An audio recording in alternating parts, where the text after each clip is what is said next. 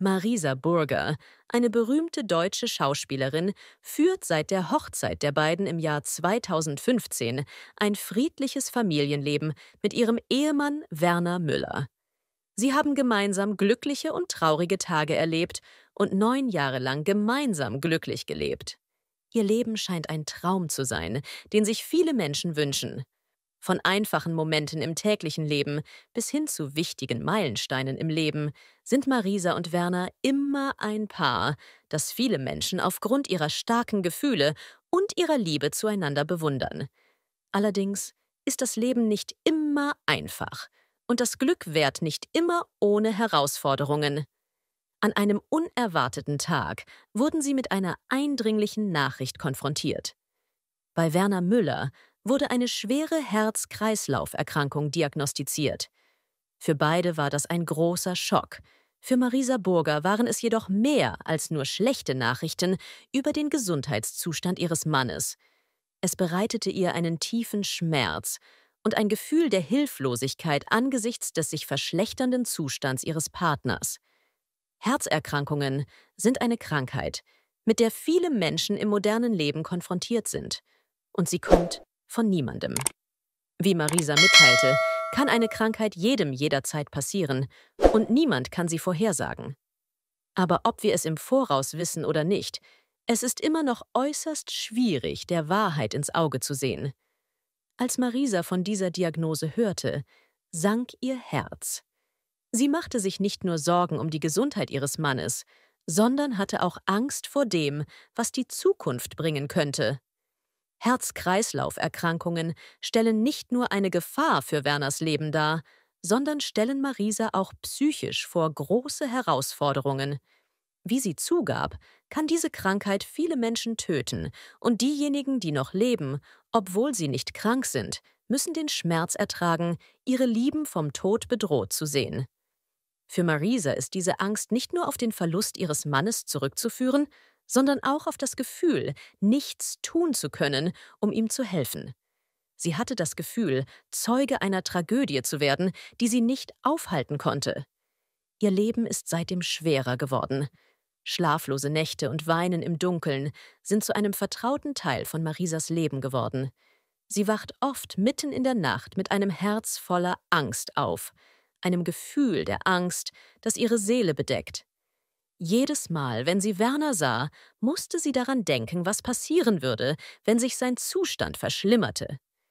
Dieser Schmerz ist nicht nur der Schmerz einer Frau, die sich Sorgen um ihren Mann macht, sondern auch der Schmerz einer Frau, die sich angesichts ihres Schicksals hilflos fühlt. Herz-Kreislauf-Erkrankungen selbst haben für beide viele Herausforderungen mit sich gebracht regelmäßige Arztbesuche, ständige Gesundheitskontrollen und die Einhaltung einer strengen Ernährung und Lebensweise zur Gewährleistung der Gesundheit von Werner sind für sie zu einem unverzichtbaren Bestandteil ihres Alltags geworden. Marisa muss lernen, sich daran zu gewöhnen, dass ihr Leben nicht mehr dasselbe sein wird.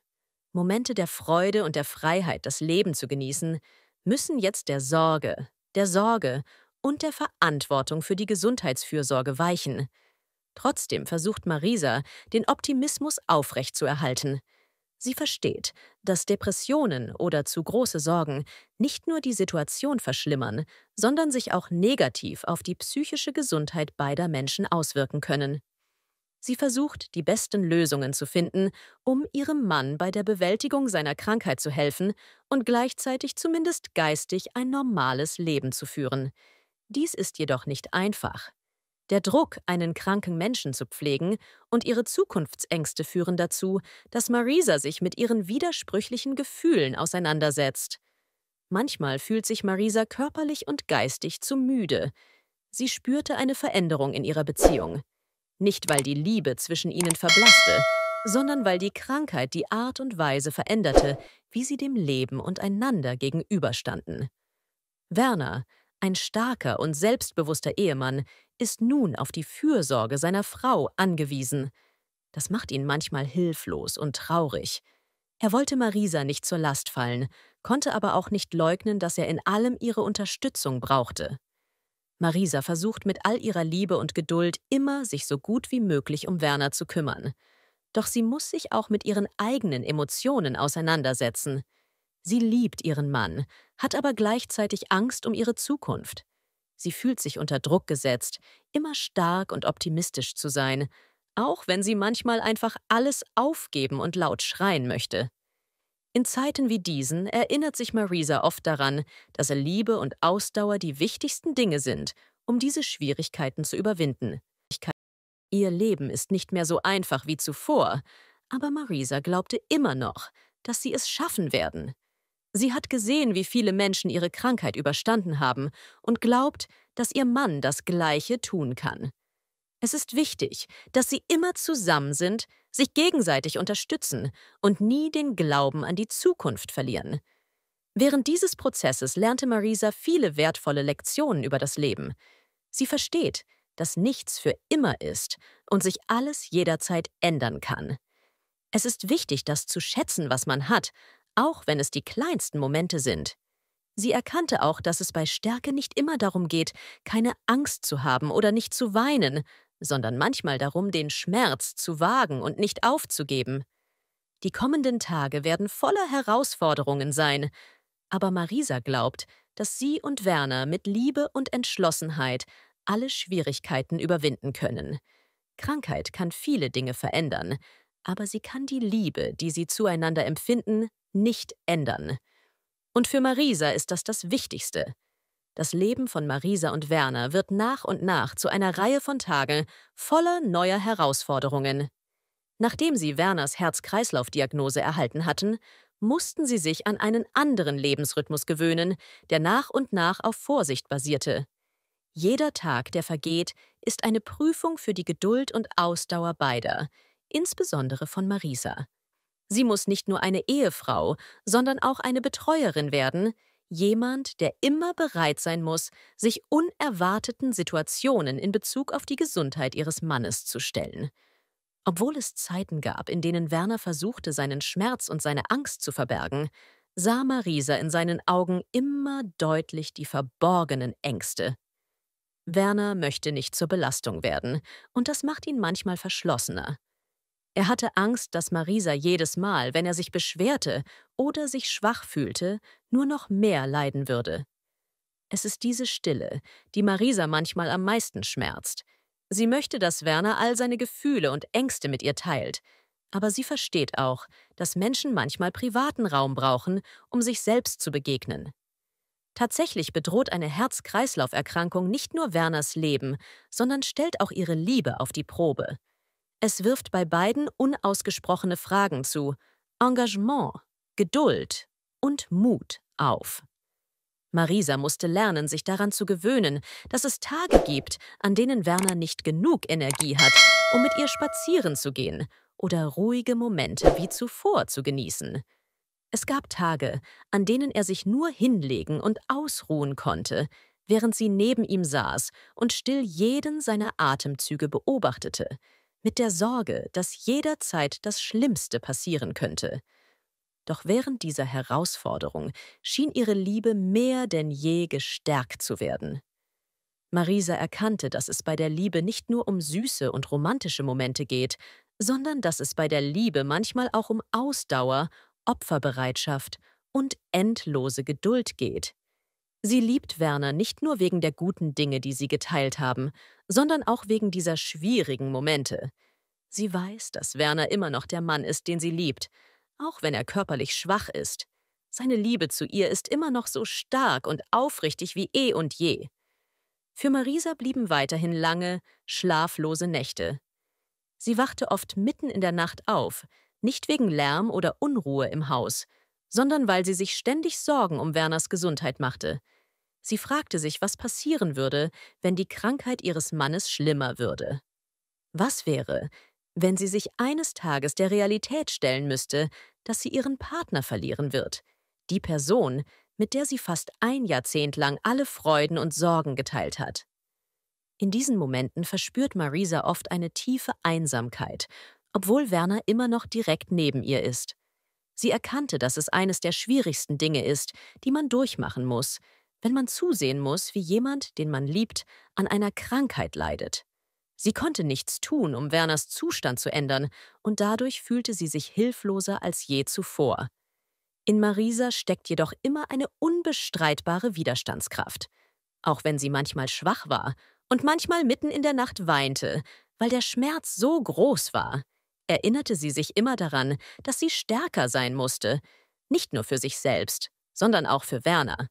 Sie wusste, auch wenn ihr Mann es nicht sagte, dass er sie an seiner Seite brauchte, ihre Unterstützung und Liebe brauchte, um weiter gegen seine Krankheit zu kämpfen. In den Tagen nach Werners Diagnose begann Marisa, mehr über Herz-Kreislauf-Erkrankungen zu erfahren. Sie las alle Dokumente, lernte die Behandlungsmethoden kennen und lernte, wie sie ihren Mann am besten pflegen kann. Besten pflegen. Ganz, ganz herzlichen Dank. Das ist ja wirklich eine wow, Wahnsinnsliste von Dingen, die ihr schon macht. Und ich habe gerade schon mal auf Mentimeter geschielt. Ähm, da rasseln die Fragen ein. Das ist super. Denkt an den Daumen. Erstmal so für diesen Input. Applaus, ja. Dankeschön. Da war wirklich schon ganz viel drin. Ich will jetzt auch gar nicht viel Zeit verlieren. Ähm, nur eine kleine Frage, Gerhard. Hm. Das ist ja wirklich viel. Was war denn euer erster Schritt in Richtung Personalentwicklung?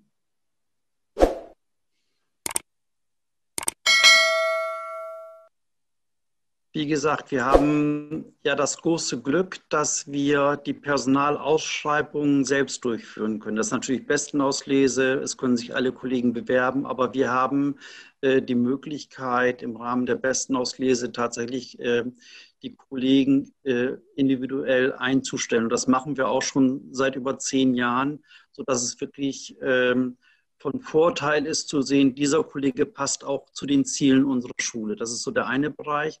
Der zweite Bereich ist wirklich auch zu schauen bei den jungen Kollegen, bei den Referendaren. Da haben wir immer zwei Mentoren, die, an, äh, die dabei sind. Das ist auch wieder eine Win-Win-Situation, weil die Kollegen natürlich von den Referendaren lernen und umgekehrt. Und wir haben uns 2013, als wir eingezogen sind, wirklich richtig viele Gedanken gemacht. Wir haben einen Neubau und einen Altbau wie wir die Pädagogik gestalten wollen innerhalb der Schule. Also wie sollen die Räume gestaltet werden, damit da äh, der Unterricht gemacht werden kann. Wir haben gesagt, wir wollen äh, transparente Räume, wir wollen Offenheit, wir wollen Licht, wir wollen nicht im Klassenraum sein, sondern die Schüler sollen nach draußen gehen können, in die offenen Lernbereiche. Äh, wir haben uns da auch überlegt, wie soll die Verkabelung sein. Wir haben von Anfang an auch Beamer eingerichtet, schon seit, auch schon im Altbau, den wir davor bezogen haben. Das heißt, wir haben immer Schritt für Schritt die Sachen eingeführt. Wie haben wir angefangen? Ähm, das ist ein langer Prozess und das ist, glaube ich, auch die Schwierigkeit. Corona ist jetzt, äh, jetzt, jetzt über uns gekommen und wir müssen von heute auf morgen reagieren. Ich glaube, das kann man tatsächlich nicht, sondern wir müssen wirklich Schritt für Schritt in kleinen Schritten anfangen. Und wir haben eine Art von Ermöglichungskultur aufgebaut, dass Kollegen, die Ideen haben, beispielsweise Bildung für nachhaltige Entwicklung, wo man am Anfang gesagt hat, naja, das ist ja ein bisschen schräg, als wir da vor 15 Jahren mit angefangen haben. Was gehört das in die berufsbildenden Schule rein? Aber wir haben eben gesehen, dass solche Sachen dann erfolgreich sind, dass es auch Personalentwicklung ist. Wenn die Kollegen Interesse haben an bestimmten Themengebieten, die zur Schule passen, die auch äh, äh die das dann auch umsetzen können, auch zum Wohl der Schülerinnen und Schüler. Hm, ja. Der steht da im Mittelpunkt, deswegen machen wir das. Ja, danke, danke. Ja, okay, du hast gesagt, ihr habt natürlich die Möglichkeit, ähm, die zukünftigen Kollegen und Kolleginnen auszusuchen. Und dann hast du gesagt, und dann habt ihr geguckt, ob die zu eurem Ziel passen. Das heißt, ihr hattet einfach auch ein Ziel. Ihr hattet eine Vision, ihr habt mit den Räumen angefangen. Und damit leite ich jetzt über Jenny, zu dir. Wir haben von Gerhard eben auch gehört, es ist ein langer, langer Prozess, aber es ist wichtig, die ersten Schritte zu tun.